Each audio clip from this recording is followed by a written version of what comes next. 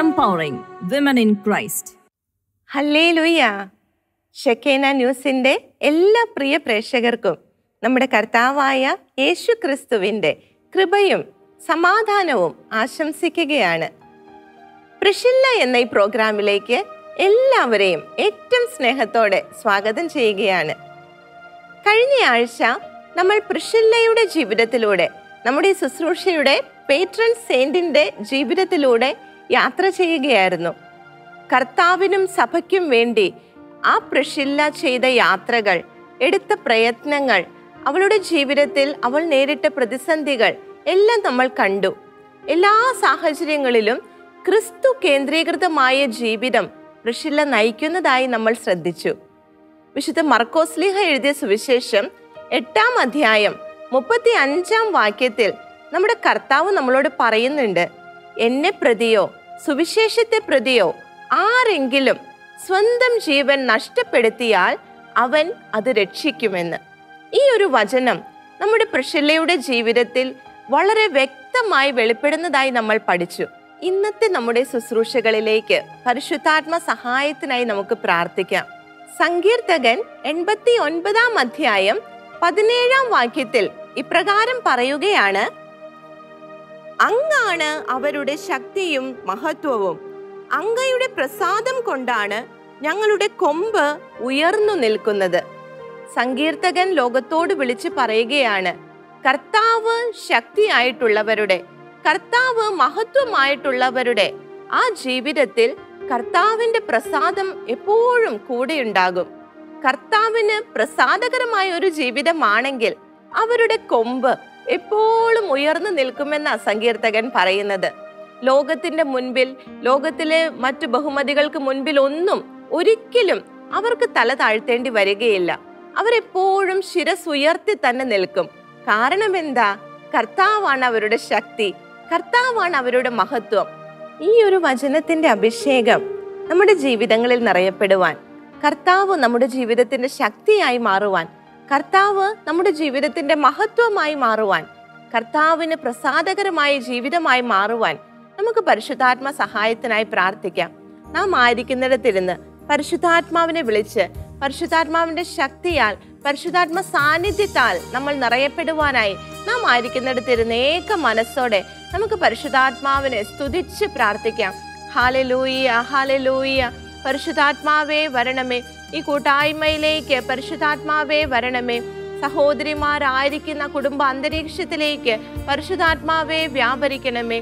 പരിശുദ്ധാത്മാവെ കർത്താവിന് പ്രസാദകരമായ ജീവിതമായി മാറുവാൻ പരിശുദ്ധാത്മാവെ സഹായിക്കണമേ. ഹാലലൂയ ഹാലലൂയ പരിശുദ്ധാത്മാവേ വരണമേ. പരിശുദ്ധാത്മാവേ അങ്ങയുടെ സാന്നിധ്യം നൽകണമേ. പരിശുദ്ധാത്മാവേ ഞങ്ങളെ സഹായിക്കണമേ. യേശുവേ ആരാധന യേശുവേ ആരാധന. കർത്താവെ അങ്ങേ പ്രസാദിപ്പിക്കുവാൻ അങ്ങേക്ക് പ്രസാദകരമായ ജീവിതമായി മാറുവാൻ ഞങ്ങളെ സഹായിക്കണമേ. ഹാലലൂയ പരിശുദ്ധാത്മാവേ ഈ കൂട്ടായ്മയിലേക്ക് വ്യാപരിക്കണമേ ആത്മാവേ. വചനം ഗ്രഹിക്കുവാൻ പരിശുദ്ധാത്മ സാന്നിധ്യം ഞങ്ങൾക്ക് നൽകണമേ. വചനം ഉൾക്കൊള്ളുവാൻ വചനത്തിൽ ജീവിക്കുവാൻ പരിശുദ്ധാത്മാവേ ഞങ്ങളെ സഹായിക്കണമേ. ഹാലലൂയ ഹാലലൂയ പരിശുദ്ധാത്മാവേ പരിശുദ്ധാത്മാവേ വ്യാപരിക്കണമേ. ഹാലലൂയ ഹാലലൂയ യേശുവേ ആരാധന യേശുവേ ആരാധന. യേശുവേ ഞങ്ങളെ നയിക്കണമേ. പരിശുദ്ധാത്മാവേ ഞങ്ങളെ ശക്തിപ്പെടുത്തണമേ. ഹാലലൂയ ഹാലലൂയ യേശുവേ ആരാധന. യേശുവേ ആരാധന. ഹാലലൂയ ഹാലലൂയ യേശുവേ നന്ദി. യേശുവെ ആരാധന. യേശുവെ ആരാധന. പരിശുദ്ധാത്മാവേ ഞങ്ങളെ സഹായിക്കണമേ. ഹാലലൂയ ഹാലലൂയ യേശുവേ നന്ദി. ഞങ്ങളുടെ പ്രിയപ്പെട്ട അമ്മേ മാതാവേ കർത്താവ് ശക്തിയായിരുന്ന കർത്താവിനെ സ്വന്തം ജീവിതം കൊണ്ട് പരിപൂർണമായും പ്രസാദിപ്പിച്ച ഞങ്ങളുടെ പ്രിയപ്പെട്ട അമ്മേ ഞങ്ങൾ ഓരോരുത്തർക്ക് വേണ്ടിയും പ്രാർത്ഥിക്കണമേ. കർത്താവിന് പ്രസാദകരമായ ജീവിതങ്ങളായി മാറുവാൻ ഞങ്ങൾ ഓരോരുത്തർക്ക് വേണ്ടിയും അമ്മ പ്രാർത്ഥിക്കണമേ. വിശുദ്ധ യവസേ പിതാവേ തിരുകുടുംബത്തിന്റെ പാലക ഞങ്ങളുടെ കുടുംബങ്ങളുടെ മേൽ യവസേ പിതാവേ പിതാവിന്റെ മധ്യസ്ഥത്തിന്റെ കരങ്ങൾ ഉണ്ടായിരിക്കണമേ. നമുക്ക് ചേർന്ന് പ്രാർത്ഥിക്കാം. നന്മ നിറഞ്ഞ മറിയമേ സ്വസ്തി കർത്താവ് അങ്ങയോടുകൂടെ സ്ത്രീകളിൽ അങ്ങ് അനുഗ്രഹിക്കപ്പെട്ടവളാകുന്നു. അങ്ങയുടെ ഉദരത്തിൻ ഫലമായി യേശു അനുഗ്രഹിക്കപ്പെട്ടവനാകുന്നു. പരിശുദ്ധ മറിയമ്മേ തമ്പുരാന്റെ അമ്മേ പാപികളായ ഞങ്ങൾക്ക് വേണ്ടി ഇപ്പോഴും ഞങ്ങളുടെ മരണസമയത്തും തമ്പുരാനോട് അപേക്ഷിക്കണമേ. ആമേൻ. ആമേൻ. യേശു ക്രിസ്തുവിൽ എന്റെ പ്രിയ സഹോദരങ്ങളെ പ്രഷല്യയുടെ ജീവിതത്തിൽ നിന്നും മറ്റൊരു ആത്മീയ പാഠം ഇന്ന് നമ്മൾ പഠിക്കാൻ പോവുകയാണ്. വിശുദ്ധ മത്തായി എഴുതിയ സുവിശേഷം പത്താം അധ്യായം നാൽപ്പത്തി ഒന്നാം വാക്യത്തിൽ നാം ഇപ്രകാരമാണ് വായിക്കുന്നത്. പ്രവാചകനെ പ്രവാചകനായി സ്വീകരിക്കുന്നവന് പ്രവാചകനെ പ്രവാചകനായി സ്വീകരിക്കുന്നവന് പ്രവാചകന്റെ പ്രതിഫലവും പ്രവാചകന്റെ പ്രതിഫലവും നീതിമാനെ നീതിമാനായി സ്വീകരിക്കുന്നവന് നീതിമാനെ നീതിമാനായി സ്വീകരിക്കുന്നവന് നീതിമാന്റെ പ്രതിഫലവും ലഭിക്കുന്നു. നീതിമാന്റെ പ്രതിഫലവും ലഭിക്കുന്നു. ഈ ഒരു വചനം അത് വ്യക്തമായി പ്രശ്നം മനസ്സിലാക്കിയിരിക്കണം. കാരണം പ്രവാചകനെ പ്രവാചകനായി സ്വീകരിക്കുവാൻ യാതൊരു വൈഷമ്യവും കാണിക്കാത്ത ഒരു വ്യക്തിയായിരുന്നു പ്രശില്ല പ്രവാചകനായ പൗലോസിനെ കർത്താവിന്റെ പ്രവാചകരെ കർത്താവിന്റെ ശുശ്രൂഷകരെ ഇരു കൈയും നീട്ടി സ്വീകരിച്ചവളായിരുന്നു പ്രശില്ല ആ ഒരു വലിയ മാതൃകയാണ് പ്രശില്ല നമുക്ക് നൽകുന്നത്. കർത്താവിന് വേണ്ടി അധ്വാനിക്കുന്നവരെ വില മതിക്കുവാനായി കഴിഞ്ഞിരുന്നു. അങ്ങനെ ചെയ്യുന്നവർക്ക് കർത്താവ് നൽകുന്ന വാഗ്ദാനം എന്താണ്? പ്രവാചകനെ പ്രവാചകനായി സ്വീകരിക്കുന്നവർക്ക് പ്രവാചകന്റെ പ്രതിഫലമാണ് കർത്താവ് നൽകുന്നത്. ഒരു പ്രവാചകൻ എന്ന് പറയുമ്പോൾ ഭാവി പറഞ്ഞ് വരാനിരിക്കുന്ന കാര്യങ്ങൾ പറയുന്നത് മാത്രമല്ല ഒരു പ്രവാചകന്റെ ദൗത്യം.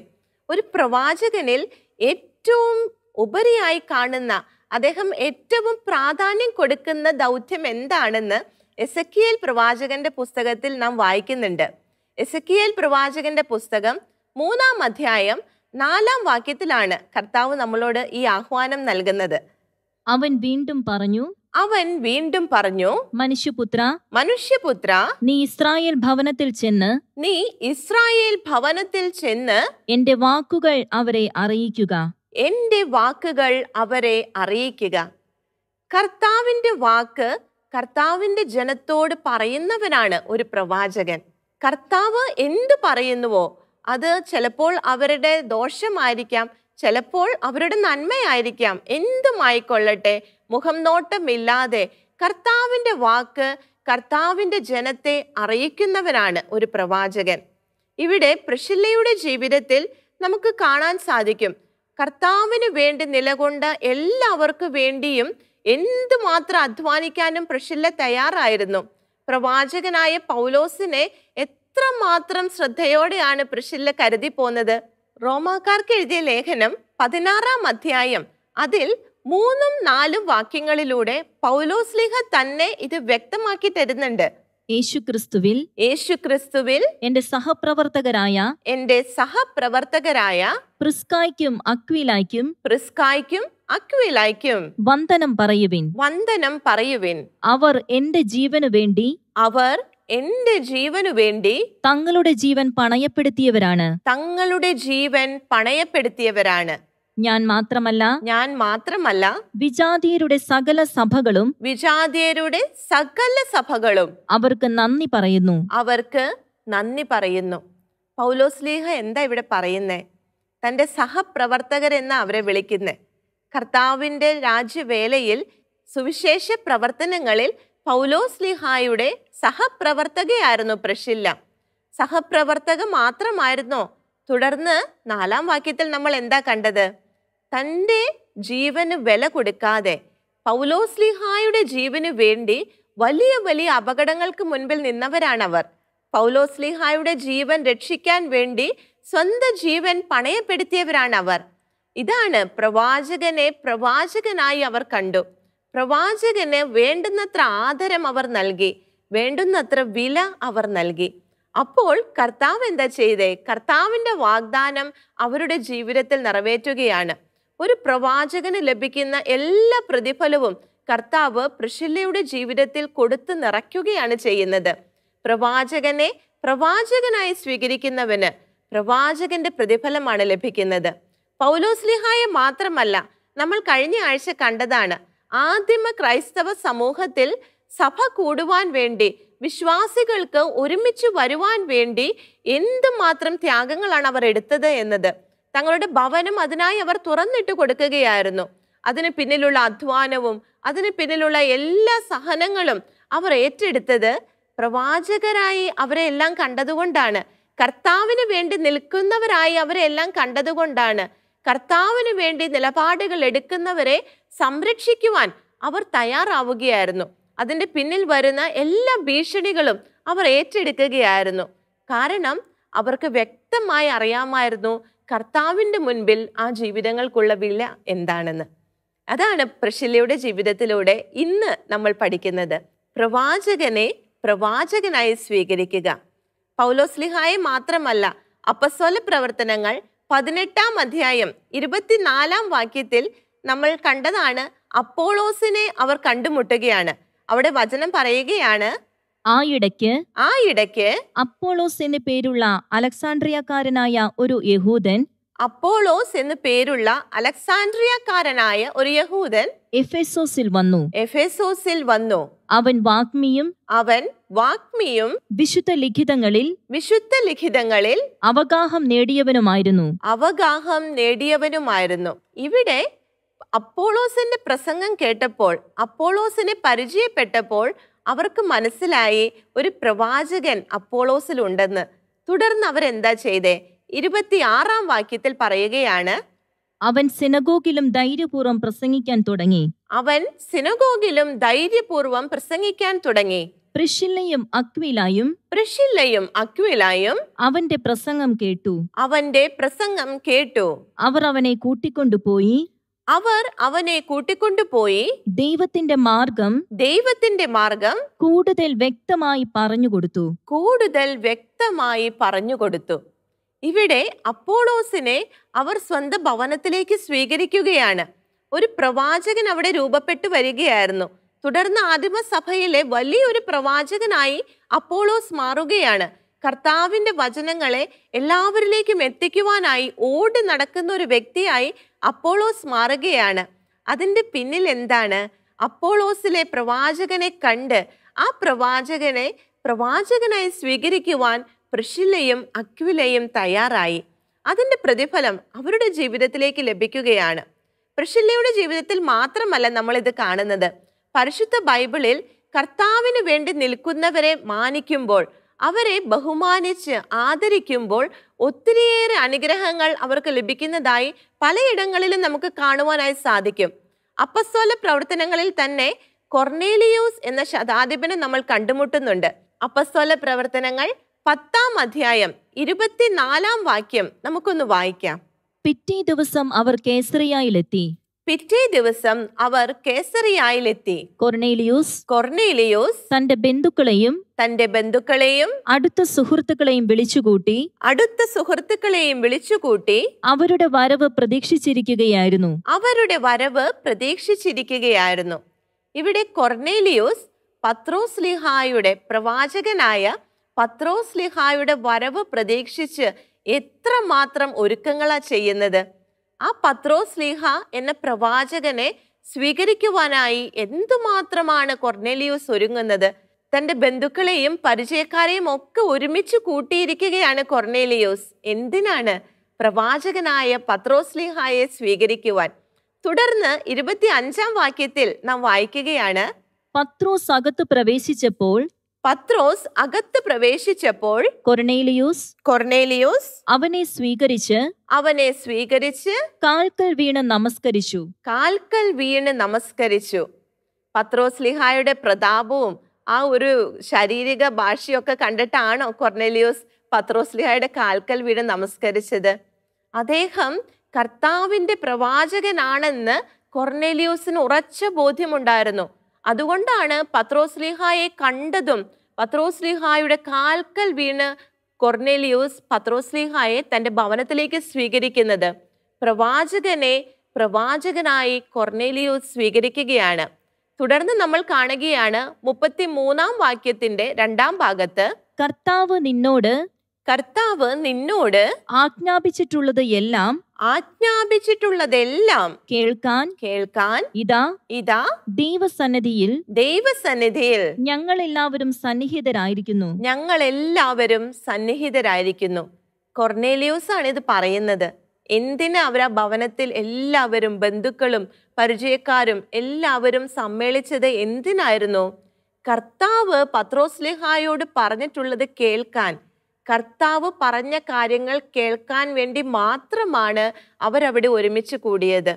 വേറെ ഭൗതികമായ യാതൊരു നേട്ടത്തിനോ സംസാരത്തിനോ വെറുതെ ഒരുമിച്ച് കൂടാനോ ഒന്നുമല്ല കർത്താവിന്റെ വാക്ക് കേൾക്കാൻ. അവിടെ പത്രോസ്ലിഹ പ്രവാചകന്റെ ദൗത്യം പൂർത്തീകരിക്കുകയായിരുന്നു. അങ്ങനെ ഒരു പ്രവാചകനെയാണ് കൊർണേലിയൂസ് സ്വന്തം ഭവനത്തിലേക്ക് സ്വീകരിച്ചത്. അങ്ങനെ സ്വീകരിച്ചതിന്റെ ഫലം എന്താണെന്ന് നാൽപ്പത്തിനാലാം വാക്യത്തിലാണ് നമുക്ക് കാണുവാൻ സാധിക്കുക. തിരുവചനം പറയുകയാണ് പത്രോസ് ഇത് പറഞ്ഞുകൊണ്ടിരിക്കുമ്പോൾ തന്നെ പത്രോസ് ഇത് പറഞ്ഞുകൊണ്ടിരിക്കുമ്പോൾ തന്നെ കേട്ടുകൊണ്ടിരുന്ന കേട്ടുകൊണ്ടിരുന്ന എല്ലാവരുടെയും മേൽ എല്ലാവരുടെയും മേൽ പരിശുദ്ധാത്മാവ് വന്നു. പരിശുദ്ധാത്മാവ് വന്നു. കൊർണേലിയോസിന്റെ മേലും ആ ഭവനത്തിൽ ഒരുമിച്ച് കൂടിയിരുന്ന എല്ലാവരുടെ മേലും പരിശുദ്ധാത്മാവ് വരികയാണ്. സ്വർഗത്തിന്റെ ആ വലിയ പ്രതിഫലം അവിടെ കൂടിയിരുന്ന ഓരോരുത്തർക്കും ലഭിക്കുകയാണ്. എന്റെ പ്രിയ സഹോദരങ്ങളെ കർത്താവിന് വേണ്ടി നിൽക്കുന്നവരെ കർത്താവിന് വേണ്ടി നിലപാടെടുക്കുന്നവരെ പുച്ഛിച്ചു തള്ളാതെ അവരുടെ നിലപാടുകളെ പുച്ഛിക്കാതെ അവർക്ക് വില കൊടുക്കുവാൻ അവരെ ആദരിക്കുവാൻ അവരെടുക്കുന്ന നിലപാടുകളെ ബഹുമാനിക്കുവാൻ നമ്മൾ പഠിക്കണം. അതാണ് കർത്താവിന്റെ വചനം പറയുന്നത്. പ്രവാചകനെ പ്രവാചകനായി സ്വീകരിക്കുക. അപ്പോൾ പ്രവാചകന്റെ പ്രതിഫലം നിനക്ക് ലഭിക്കും. ഇത് തന്നെ പഴയ നിയമഗ്രന്ഥത്തിലും നമ്മൾ കാണുന്നുണ്ട്. അവിടെ രാജാക്കന്മാരുടെ രണ്ടാം പുസ്തകത്തിൽ ശൂനേംകാരി ഒരു ധനികയായ ഒരു സ്ത്രീയെ നമ്മൾ കണ്ടുമുട്ടുന്നുണ്ട്. രാജാക്കന്മാരുടെ രണ്ടാം പുസ്തകം നാലാം അധ്യായം എട്ട് മുതൽ പത്ത് വരെയുള്ള വാക്യങ്ങൾ നമുക്കൊന്ന് ശ്രദ്ധിക്കാം. ഒരിക്കൽ എലീശ ഒരിക്കൽ എലീഷ ഷൂനേമിൽ ചെന്നപ്പോൾ ഷൂനേമിൽ ചെന്നപ്പോൾ ഒരു ധനിക ഒരു ധനിക അവനെ ഭക്ഷണത്തിന് ക്ഷണിച്ചു. അവനെ ഭക്ഷണത്തിന് ക്ഷണിച്ചു. ആ വഴി കടന്നു പോകുമ്പോഴെല്ലാം ആ വഴി കടന്നു പോകുമ്പോഴെല്ലാം അവൻ ഭക്ഷണത്തിന് അവൻ ഭക്ഷണത്തിന് ആ വീട്ടിൽ ചെല്ലുക പതിവായി. ആ വീട്ടിൽ ചെല്ലുക പതിവായി. അവൾ ഭർത്താവിനോട് പറഞ്ഞു അവൾ ഭർത്താവിനോട് പറഞ്ഞു ഇതിലെ പോകാറുള്ള ആ മനുഷ്യൻ ഇതിലെ പോകാറുള്ള ആ മനുഷ്യൻ ഒരു ദൈവപുരുഷനാണ്. ഒരു ദൈവപുരുഷനാണ്. ആ ശൂനേംകാരിയായ സഹോദരി അവൾ ആ എലീഷായിലുള്ള ദൈവിക പ്രവൃത്തിയെ തിരിച്ചറിയുകയായിരുന്നു. അദ്ദേഹം ഒരു ദൈവ പുരുഷനാണെന്ന് അവൾ തിരിച്ചറിയുകയായിരുന്നു. വെറുതെ വഴിയെ പോയപ്പോൾ ഭക്ഷണം വിളിച്ചു കൊടുക്കുകയല്ല. അവരെന്തുകൊണ്ടാണ് അങ്ങനെ ചെയ്തത്? അദ്ദേഹത്തിലുള്ള കർത്താവിന്റെ ആത്മാവിനെ അദ്ദേഹത്തിലുള്ള പ്രവാചക ആത്മാവിനെ ആ ശൂനേങ്കാരിയായ സ്ത്രീ തിരിച്ചറിയുകയായിരുന്നു. അവൾ ഭർത്താവിനോട് പറയുകയാണ് അദ്ദേഹം ഒരു ദൈവ പുരുഷനാണ് അദ്ദേഹത്തിന് വേണ്ടുന്നതെല്ലാം നമുക്ക് ചെയ്തു കൊടുക്കണം. അദ്ദേഹത്തിന് വേണ്ട ഒരു മുറി തന്നെ അവരവിടെ സജ്ജമാക്കുകയാണ്. പ്രവാചകനെ അവൾ പ്രവാചകനായി സ്വീകരിക്കുകയായിരുന്നു. കർത്താവിന്റെ വാഗ്ദാനം അത് നിശ്ചയമായി നിറവേറുക തന്നെ ചെയ്യും. തുടർന്ന് അതിന്റെ പ്രതിഫലം അവൾക്ക് ലഭിക്കുന്നതായി നമ്മൾ കാണുന്നത് പതിനേഴാം വാക്യത്തിലാണ്. ആ വചനത്തിൽ പറയുകയാണ് എലീഷ പറഞ്ഞതുപോലെ എലീഷ പറഞ്ഞതുപോലെ അവൾ ഗർഭം ധരിച്ച് അവൾ ഗർഭം ധരിച്ച് അടുത്ത വസന്തത്തിൽ അടുത്ത വസന്തത്തിൽ ഏകദേശം ആ സമയത്ത് ഏകദേശം ആ സമയത്ത് ഒരു പുത്രനെ പ്രസവിച്ചു. ഒരു പുത്രനെ പ്രസവിച്ചു. ഒരു കുഞ്ഞില്ലാതെ വിഷമിച്ചിരുന്ന ആ ശൂനേങ്കാരി സ്ത്രീക്ക് വലിയ ഒരു അനുഗ്രഹം നൽകി കർത്താവ് അവരെ അനുഗ്രഹിക്കുകയാണ്. എന്തുകൊണ്ടാണ്? പ്രവാചകനെ പ്രവാചകനായി സ്വീകരിക്കുവാൻ അദ്ദേഹത്തിന് വേണ്ടുന്നതായതെല്ലാം ഒരുക്കി കൊടുക്കുവാൻ അവൾ കാണിച്ച അവളുടെ ആ മനസ്സ്. അത് കർത്താവ് കാണുകയായിരുന്നു. നമ്മളുടെ ഓരോരുത്തരുടെയും മനോഭാവങ്ങളെ കാണുന്നവനാണ് നമ്മുടെ കർത്താവ്. ശുശ്രൂഷകരെ കർത്താവിന് വേണ്ടി നിൽക്കുന്നവരെ ബഹുമാനപ്പെട്ട അഭിഷിക്തരെ അവരൊക്കെ കർത്താവിനെ പ്രതി തങ്ങളുടെ ജീവിതം തന്നെ കർത്താവിന് സമർപ്പിച്ചവരാണ്. കർത്താവിന് വേണ്ടി നിൽക്കുന്നവരെ മാനിക്കുമ്പോൾ കർത്താവ് വെറുതെ നോക്കിയിരിക്കുമോ? ആവശ്യമായ എല്ലാ അനുഗ്രഹങ്ങളും. ഈ ലോക ജീവിതത്തിൽ മാത്രമല്ലാട്ടോ പ്രവാചകർക്കും കർത്താവിന്റെ ശുശ്രൂഷകർക്കുമുള്ള ഏറ്റവും വലിയ പ്രതിഫലം നിത്യതയിലാണ് ലഭിക്കുക. വാഗ്ദാനത്തിന് അവകാശികളായിട്ട് അവർ മാറുകയാണ്. അതേ പ്രതിഫലമാണ് കർത്താവ് അവരെ മാനിക്കുന്നവർക്കും നൽകുന്നത്. അത്രമാത്രം ഒരു വലിയ കാര്യമായിട്ടാണ് കർത്താവ് അത് കാണുന്നേ. കർത്താവിന് വേണ്ടി നിലപാടെടുക്കുന്നവരെ ബഹുമാനിക്കുക അവരെ ആദരിക്കുക അവരെ പ്രോത്സാഹിപ്പിക്കുക. ഇതാണ് പ്രഷില്ല ഇന്നത്തെ ഈ ശുശ്രൂഷയിലൂടെ നമ്മൾക്ക് നൽകുന്ന ആഹ്വാനം. പ്രഷില്ലയുടെ ജീവിതത്തിൽ ഈ കാര്യങ്ങൾ എഴുതപ്പെട്ടത് പൗലോസ്ലിഹായെയും അപ്പോളോസിനെയും ഒക്കെ ഇത്രമാത്രം പ്രഷില്ല കരുതി കൊണ്ടു നടന്നു എന്ന് എഴുതിയിരിക്കുന്നത് എന്തിനാ? നമ്മുടെ ജീവിതത്തിൽ ഒരു പാഠമാകാനാണ് ഇതെല്ലാം എഴുതപ്പെട്ടിരിക്കുന്നത്. ആ ഒരു പാഠം നമ്മുടെ ജീവിതത്തിലേക്ക് ഉൾക്കൊള്ളുവാനായി നമുക്ക് ശ്രമിക്കാം. പ്രിഷില്ലയുടെ ജീവിതത്തിലൂടെയുള്ള യാത്ര ഈ ഒരു എപ്പിസോഡിലൂടെ നമ്മൾ അവസാനിപ്പിക്കുകയാണ്. ഹെബ്രായരുടെ പുസ്തകത്തിൽ നമ്മൾ കണ്ടതാണ് പഠിച്ച കാര്യങ്ങൾ പഠിച്ചങ്ങോട്ട് പോകാതെ വീണ്ടും വീണ്ടും അതിൽ കൂടുതൽ ശ്രദ്ധിക്കണമെന്ന്. പ്രിഷില്ലയുടെ ജീവിതത്തിലൂടെ ഇടയ്ക്കിടയ്ക്ക് നമ്മൾ യാത്ര ചെയ്യണം. എങ്കിലേ ആ ജീവിതത്തിലൂടെ കർത്താവ് നമുക്ക് നൽകുന്ന ഈ ആഹ്വാനങ്ങൾ നമ്മുടെ ഓർമ്മയിൽ ഉണ്ടാവുകയുള്ളൂ. അതനുസരിച്ച് ജീവിതത്തിൽ നിലപാടുകൾ എടുക്കുവാൻ നമുക്ക് സാധിക്കുകയുള്ളൂ. ആദ്യത്തെ എപ്പിസോഡിൽ നമ്മൾ എന്താ കണ്ടത്? ജീവിതത്തിലെ വലിയ വലിയ പ്രതിസന്ധികളെ വെല്ലുവിളികളെയൊക്കെ കർത്താവ് വലിയ നന്മയ്ക്കായി മാറ്റിയതായി നമ്മൾ കണ്ടു. തുടർന്ന് പ്രഷില്ലയുടെ ജീവിതത്തിൽ ഭാര്യ ഭർത്താക്കന്മാർക്ക് പരസ്പരമുള്ള ലയത്തെക്കുറിച്ചാണ് നമ്മൾ പഠിച്ചത്. അതിന്റെ ഏറ്റവും വലിയ ഉദാഹരണമായി നമ്മൾ പ്രഷില്ലയുടെയും അക്വിലയുടെയും ദാമ്പത്യത്തെ കണ്ടു. കഴിഞ്ഞ ആഴ്ച നമ്മൾ പഠിച്ചത് പ്രഷില്ല എന്ന മിഷനറിയെ കുറിച്ചാണ്. കർത്താവിനും കർത്താവിന്റെ സഭയ്ക്കും വേണ്ടി വില കൊടുത്ത് ജീവിച്ച ആ ജീവിതം. ആ ജീവിതത്തിൽ നിന്നും സുവിശേഷത്തിനു വേണ്ടി നിലപാടുകൾ എടുക്കുവാനായിട്ടുള്ള ആ ഒരു പ്രചോദനം നമ്മൾ സ്വീകരിക്കണം. ഇന്ന് നമ്മൾ എന്താ കണ്ടേ? പ്രവാചകനെ പ്രവാചകനായി മാനിക്കുന്ന അതിനുവേണ്ടി സ്വന്തം ജീവൻ വരെ നൽകാൻ തയ്യാറായ പ്രഷിലയെ നമ്മൾ കണ്ടത്. ഇതെല്ലാം കർത്താവിന്റെ വചനത്തിനനുസരിച്ച് മാത്രമാണ് പ്രഷില മുന്നോട്ട് പോയത്. ആ ഒരു ജീവിതത്തിൽ നിന്നും വേണ്ടുന്നതായ എല്ലാ പാഠങ്ങളും വ്യക്തിപരമായി നമ്മുടെ ജീവിതത്തിലേക്ക് ഉൾക്കൊള്ളുവാനായി നമുക്ക് ശ്രമിക്കാം. പ്രാർത്ഥിച്ച് ആ ഒരു കൃപയ്ക്കായി നമുക്ക് ഒരുങ്ങാം. ഇന്നത്തെ നമ്മുടെ ശുശ്രൂഷയുടെ ആരംഭത്തിൽ നമ്മൾ കണ്ട വചനമാണ് സങ്കീർത്തനങ്ങൾ എൺപത്തി ഒൻപത് പതിനേഴ്. അവിടെ നമ്മൾ വായിച്ചു അങ്ങാണ് അവരുടെ ശക്തിയും മഹത്വവും. അങ്ങയുടെ പ്രസാദം കൊണ്ടാണ് ഞങ്ങളുടെ കൊമ്പ് ഉയർന്നു നിൽക്കുന്നത്. എന്റെ പ്രിയ സഹോദരങ്ങളെ ഈ ഒരു വചനം പ്രഷില്ലയുടെ ജീവിതത്തിൽ അക്ഷരാർത്ഥത്തിൽ നിറവേറുകയായിരുന്നു. കർത്താവ് ശക്തിയായി മഹത്വമായി അവളുടെ ജീവിതത്തിൽ മാറുകയായിരുന്നു. കർത്താവിനെ പ്രസാദിപ്പിച്ച ജീവിതമായി തീരുകയായിരുന്നു. ഈ ഒരു അഭിഷേകം നമ്മൾ ഓരോരുത്തരുടെയും ജീവിതത്തിലേക്ക് ഏറ്റെടുത്തുകൊണ്ട് പരിശുദ്ധാത്മാവിന്റെ ശക്തിക്കായി പരിശുദ്ധാത്മാവിന്റെ കൃപയ്ക്കായി നമുക്ക് പ്രാർത്ഥിക്കുവാനായി ഒരുങ്ങാം. നാം ആയിരിക്കുന്നിടത്തിരുന്ന് ഏക മനസ്സോടെ നമുക്ക് പരിശുദ്ധാത്മാവിനെ വിളിച്ച് പ്രാർത്ഥിക്കാം. ഹാലലൂയ്യ ഹാലലൂയ്യ പരിശുദ്ധാത്മാവേ ഞങ്ങളുടെ ജീവിതത്തിലേക്ക് കടന്നു വരണമേ. കർത്താവിനെ ഞങ്ങളുടെ ജീവിതത്തിന്റെ ശക്തിയായി മഹത്വമായി സ്വീകരിക്കുവാൻ ആ രീതിയിൽ ഞങ്ങളുടെ ജീവിതങ്ങളെ ക്രമപ്പെടുത്തുവാൻ പരിശുദ്ധാത്മാവേ ഞങ്ങളെ സഹായിക്കണമേ. ഹാലലൂയ്യ ഹാലലൂയ്യ പരിശുദ്ധാത്മാവേ വ്യാപരിക്കണമേ. പരിശുദ്ധാത്മാവേ വ്യാപരിക്കണമേ. ഞങ്ങളുടെ കൂട്ടായ്മയിലേക്ക് വ്യാപരിക്കണമേ. കർത്താവിനെ പ്രസാദിപ്പിക്കുന്ന ജീവിതങ്ങളായി ഞങ്ങൾ ഓരോരുത്തരും രൂപാന്തരപ്പെടട്ടെ. പരിശുദ്ധാത്മാവേ കൃപകളാൽ വരങ്ങളാൽ ഫലങ്ങളാൽ ഞങ്ങളെ നിറയ്ക്കണമേ എന്ന് പ്രാർത്ഥിക്കുന്നു. പരിശുദ്ധാത്മാവേ ഞങ്ങളെ ശക്തിപ്പെടുത്തണമേ. ഈശോയെ പ്രസാദിപ്പിക്കുന്ന ജീവിതങ്ങളായി ഈശോയ്ക്ക് സന്തോഷം നൽകുന്ന ജീവിതങ്ങളായി ഞങ്ങൾ ഓരോരുത്തരുടെയും ജീവിതങ്ങൾ രൂപാന്തരപ്പെടുവാൻ തക്കവിധം പരിശുദ്ധാത്മ അഭിഷേകത്താൽ ഞങ്ങളെ നിറയ്ക്കണമേ എന്ന് പ്രാർത്ഥിക്കുന്നു. ഹാലലൂയ്യ ഹാലലൂയ്യ യേശുവേ ആരാധന യേശുവേ ആരാധന. പരിശുദ്ധാത്മാവേ ഞങ്ങളുടെ മേൽ വരണമേ ഞങ്ങളുടെ ഇടയിൽ വ്യാപരിക്കണമേ ഞങ്ങളുടെ കുടുംബങ്ങളിലേക്ക് കടന്നു വരണമേ.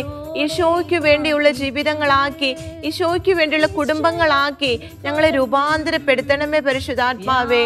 ഹാലലൂയ്യ ഹാലലൂയ്യ പരിശുദ്ധാത്മാവേ വരണമേ.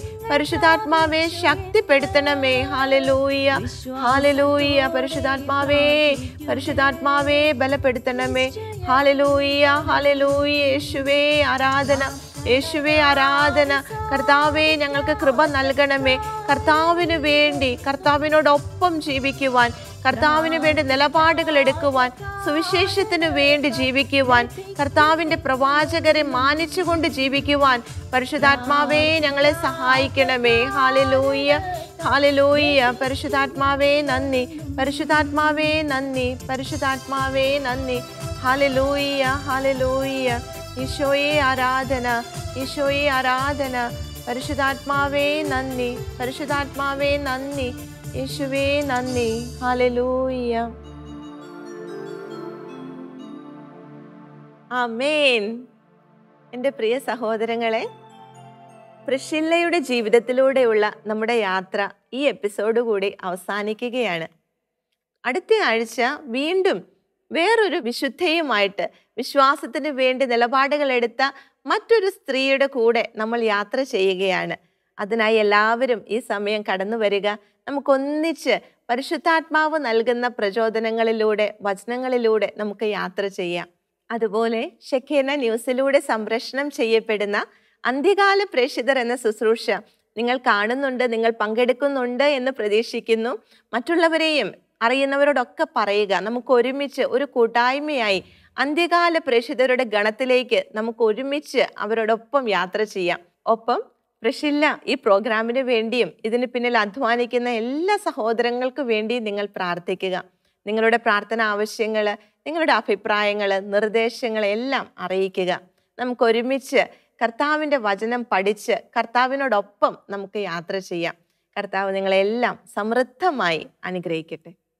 നിങ്ങളുടെ അഭിപ്രായങ്ങളും പ്രാർത്ഥനാ നിയോഗങ്ങളും ഞങ്ങളെ അറിയിക്കുക.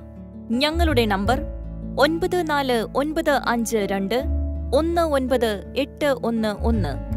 ഞങ്ങളുടെ email പ്രിഷില്ല ഷിക്കിന at the rate Gmail dot com ഞങ്ങളുടെ address പ്രിഷില്ല ഷിക്കിന news Thalikode Pattikkad P O Thrissur Kerala ആറ് എട്ട് പൂജ്യം ആറ് അഞ്ച് രണ്ട്.